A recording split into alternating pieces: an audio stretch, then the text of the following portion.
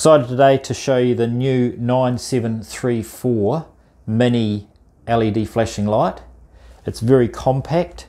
It's only 100 mils square and 45 mils high. It meets all the standards, the SAE class 1 and the R65 and is 12 to 48 volts. It's got super high power LEDs as we'll show you here. So there it is flashing and you can change the patterns and also synchronize it with other lights. It comes in a permanent mount like this here or else a magnetic mount with a cord and a cigarette lighter plug.